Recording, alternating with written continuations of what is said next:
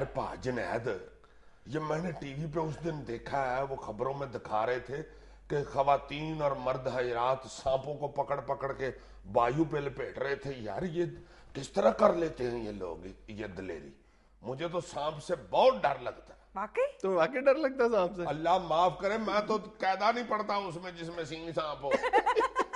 बचपन से डरते हो गए सांप से तुम। सख्त। जितने भी हमारे अंदर डर और खौफ मौजूद होते हैं वो अगर हम गौर करें तो इस बात इस नतीजे पर पहुँचते हैं कि वो तमाम के तमाम खौफ बचपन से ही हमारे अंदर पैदा कर दिए तो यार है। जो खौफजदा चीज़ है वो खौफजदा ही रहती है। या तो है ना सांप बड़ा होके तो बीए कर लेता है तो नहीं नहीं नहीं तुम एक बात पे गौर करो कि बकायदा एक स्टडी के नतीजे में बात सामने आई है कि हिंदुस्तानी बच्चे सांपों से नहीं डरते। इसकी क्या वजह? है इसलिए कि वहाँ पे जो माँ बाप है, अपने बच्चों को सांपों से डराते नहीं हैं। हमारी माएँ शुरू से ही मुख्तलिफ़ चीज़ों से हमें डराती हैं बेदयानी के आलम में या लाइलमी में या बहुत ज़्यादा मोहब्बत की वजह से। हमें कंट्रोल करने के लिए हाँ। बच्चों को माएँ बचपन से डराती हैं जिन आ जाएगा जल्दी सो जाओ। जिस चीज़ से भी माएँ डराती हैं वो सारी ज़िंदगी के लिए खौफ हमारे बैठ जहनों जाता है में बैठ जाता बिल्कुल बैठ जाता और यार ये कैसे हो सकता है? बाकायदा एक रिसर्च है। आलमगीर सतह पर यह कहा जाता है कि दुनिया भर में जितने लोग सांपों से डरते हैं उनमें से छियासठ फ़ीसद लोग ऐसे हैं जिन्होंने ज़िंदगी भर सांप देखा ही नहीं होता। लेकिन उनकी ज़िंदगी का सबसे बड़ा खौफ हमेशा हमेशा के लिए सांप ही रहता है। फिर तुम ये देखो ये बात तुम ठीक कर रहे हो। देखो ना जिस तरह हम बच्चों को जो शुरू में जिन चीज़ों को अच्छा इंप्रेशन देंगे वो सारी ज़िंदगी के लिए बच्चों के जहनों के पर्दों पर वो खुशकुन तस्वुर मौजूद होगा। और जिस चीज़ से हम डरा देंगे हमेशा हमेशा के लिए बच्चे उससे डरते रहेंगे। अभी कुछ अरसा पहले बरतानिया की एक यूनिवर्सिटी में बड़ी दिलचस्प तहकीक हुई है। एक रिसर्च के ज़रिए उनमें एक उस स्टडी के दौरान बच्चों को दो ग्रुप्स में तकसीम किया गया। पहले उन्हें एक ऐसी वीडियो दिखाई गई जिसमें एक चूजा था लेकिन बैकग्राउंड में माँ की या औरत की डरा देने वाली आवाज़ थी अच्छा। और दूसरी वीडियो प्ले की गई उनके सामने तो एक सांप था तस्वीर में सांप था वीडियो में लेकिन उसकी बैकग्राउंड में माँ या औरत की खुशगुन किस्म की आवाज़ें थी अच्छा। यानी जैसे वो खिला रही हैं।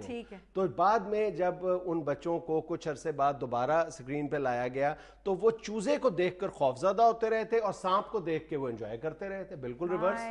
नहीं ये बिल्कुल ठीक कह रहा है। मैं सांप से सख्त डरता हूँ और चिंटी से बड़ा मुझे डर लगता था काफ़ी अरसे तक। अच्छा। हाँ मुझे बचपन में ना किसी हमें बुज़ुर्ग ने कह दिया ना बेटी चूंटी काट लेती है काट लेती है। वो तो मैं जब काफ़ी बड़ा हो गया ना आ, मेरा मतलब है कितने बड़े हो गए? तेरह चौदह साल का हो गया अब तो माशाल्लाह अट्ठाईस साल का हो गया माशाल्लाह। जब मैं तेरह चौदह साल का हो गया तो मैंने देखा यार सात आठ चींटियाँ मिल के बेचारी एक चीनी का दाना तरू रही है। मैंने कहा यार इनसे एक चीनी का दाना नहीं तरुआ जा रहा है ये मुझे क्या कह लेंगे फिर मेरा खौफ खत्म हो। इसी तरह आप सांप देखेंगे तो सांप से भी आपका खौफ खत्म हो जाएगा। नहीं सांप से नहीं खत्म होता वो ऐसे करता है ना बहुत जहरीला होता है तो यहाँ बैठ के मुखबरियाँ सुनाते हुए जो मैं डराते रहते हो सांपों से हाँ और मुझे सबसे खौफनाक चीज़ सांप लगती है इसीलिए तो तुम्हें डराता हूँ।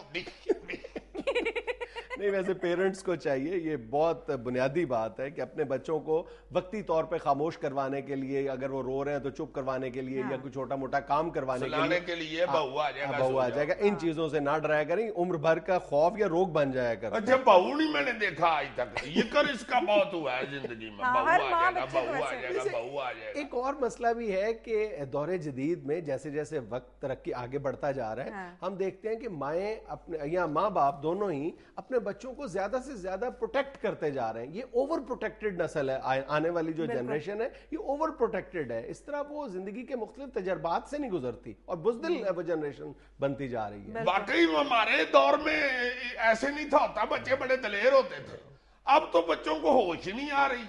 वो सिर्फ़ बालों को ही पंपू करा के फिर रहे होते हैं और हमें छोटी छोटी चीज़ों पे डर रहे होते हैं। यार रक्षे पे बैठने से डर रहे होते हैं आजकल के हाँ अकेले नहीं रोड नहीं क्रॉस कर सकते। मतलब ये छोटी छोटी चीज़ें बच्चे पहले स्कूल पैदल चले जाया करते थे अब तो ड्राइवर के डिस्पोजल पे होते खैर सड़कों पे तो टोयटे में बहुत होती है इसलिए बच्चा क्रॉस नहीं करता।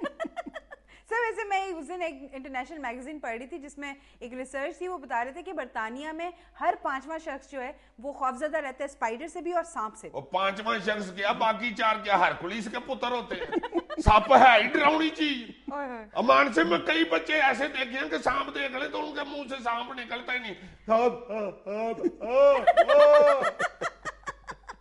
और बहरहाल माओ की ये ट्रेनिंग होनी चाहिए कि हाँ। बच्चों को इस तरह बिला वजह ना डराया करें क्योंकि आइंदा उनकी शख्सियत पर बड़े मनफी असरात मुरतब होते हैं वो कॉन्फिडेंट और बहादुर इंसान नहीं बन सकते हाँ, ये ये की तरह नाजरीन वक्त हुआ है कमर्शियल ब्रेक का हमारे साथ रहिएगा।